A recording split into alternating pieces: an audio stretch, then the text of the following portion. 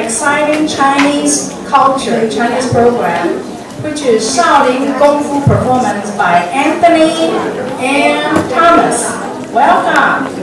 They'll be performing uh, fist bearing, uh, 空臂拳.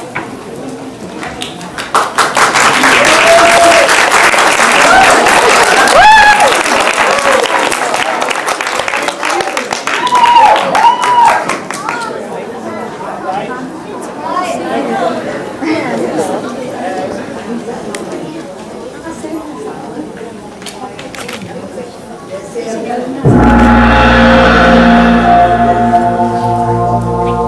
you.